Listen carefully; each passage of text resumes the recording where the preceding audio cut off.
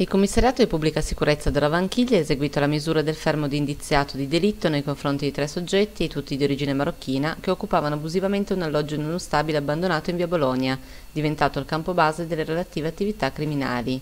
Ad introdurre l'operazione il dirigente del commissariato di polizia della Vanchiglia, Elena Manti.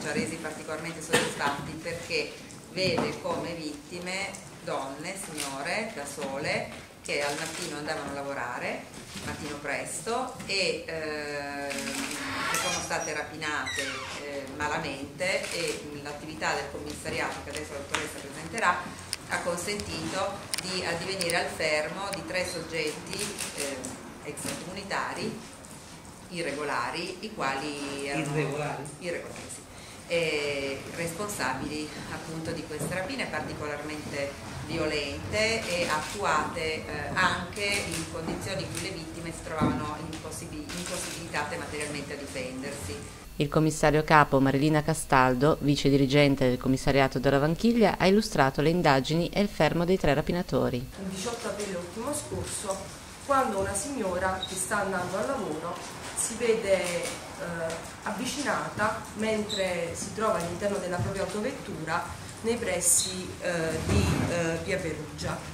Sono due soggetti, uno che tenta di aprire l'autovettura e scaraventarla fuori, lei si aggrappa allo sportello per difendersi ed un secondo soggetto che non aveva visto riesce ad aprire l'altro portellone e a sottrarne la borsa. Nella colluttazione lei rimane ferita, ha un ematoma, le esce del sangue da vicino il labbro e rimane molto scossa, venendo soccorsa dai passati. Riusciamo a individuare quelli che sono i riferimenti di questi due autori, sono riferimenti a livello di immagine. Esiste non solo una correlazione tra l'attività criminale e l'alloggio che abbiamo trovato, ma esiste una terza persona di cui nessuno ci ha parlato. Continuano quelle che sono le attività sul territorio che sono incessanti e che portano a due risultati operativi già nel giorno del 26 aprile. Il 26 aprile riusciamo a ottenere questi risultati. Da una parte scopriamo che un'altra persona era stata rapinata sempre da questi soggetti, sempre con modalità simili e che uno dei soggetti che avevamo già fermati era uno dei responsabili. Questa volta la vittima è un uomo che viene avvicinato con la scusa di una sigaretta e alla risposta negativa della richiesta viene colpito da un oggetto contundente e scaraventato per terra.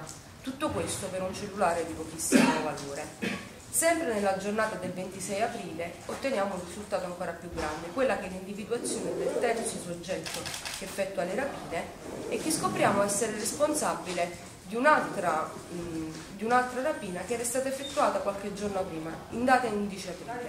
Una marocchina, tutti irregolari, tutti relativamente giovani, tutti nati tra l'86 e l'88. e si tratta di soggetti che non solo hanno dei precedenti specifici, ma uno dei tre, per la precisione il secondo complice, quello che sottrae la borsa nella rapina dell'autovettura, era da poco uscito da carcere per reati del medesimo gruppo.